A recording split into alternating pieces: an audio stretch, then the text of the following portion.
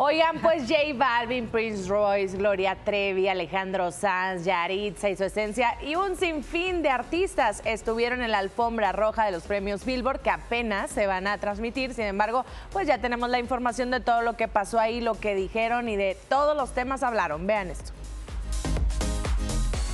Esta semana lo mejor de la música latina se reunió en Miami, Florida por el Billboard Latin Music Week del 14 al 18 de octubre.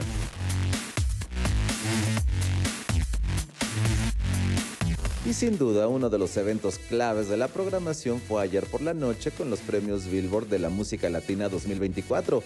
Figuras de la talla de J Balvin, Gloria Trevi, María Becerra, Maui Ricky, Alejandro Sanz, Prince Royce, Yaritza y su esencia y muchos más desfilaron por la alfombra azul.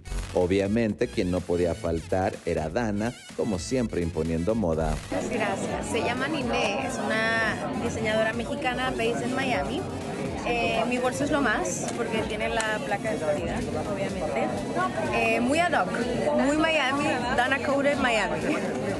Cositas. Estoy preparando cosas. Eh, yo sé que mis fans siempre piensan que me trago demasiado, pero siempre creo que lo bueno se, vale, la pena, esperar. Estoy evolucionando mucho. viene un fin de año movido, muy movido, con un proyecto, se estrena Wicked. La dinastía Fernández estuvo representada por Camila Fernández, quien aprendió muy bien la lección tras el incidente previo a la pelea de Saúl El Canelo Álvarez. Pues me tuve que aprender mis líneas para pues no regarla, vaya, ¿no? Este, no me vaya a pasar otra vez, pero aquí andamos. Quienes también deslumbraron con su belleza fueron Yailin, la más viral, Majo Aguilar, Alicia Machado y Gloria Trevi. Una de las personalidades más esperadas fue J Balvin, quien llegó con su esposa Valentina Ferrer y en la ceremonia fue honrado con el premio Espíritu de Esperanza. Sí, tenemos una fundación que se llama Vibra Alta y es donde estamos buscando cómo elevar los sueños de cada persona y obviamente cómo elevar esas vibras, como yo siempre de vibra. Pero también estamos ayudando a las madres solteras, estamos ayudando a las madres que han tenido algún problema de de maltrato familiar. Carol G encabeza la lista de los premios con 17 nominaciones. Le siguen Bad Bunny y Peso Pluma con 15 cada uno. Los ganadores se conocerán el próximo domingo 20 de octubre.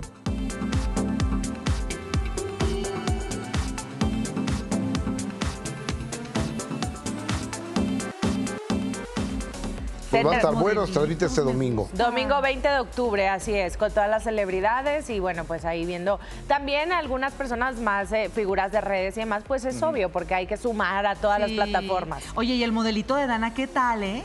Se ve, solo ella. se ve muy guapa. así que se ve de como despeinado. como que iba, como que, iba. el viento se lo lleva. Sí, así. Está muy padre, pero oye, también creo que lo que han logrado y, las chavas, o sea, Dana, Belinda, Lele, que se juntan también en este evento en las conferencias y hablan acerca de la rivalidad que se crea en redes sociales y que de repente, pues ellas dicen, no, somos cuatas, la verdad, ¿por qué separarnos?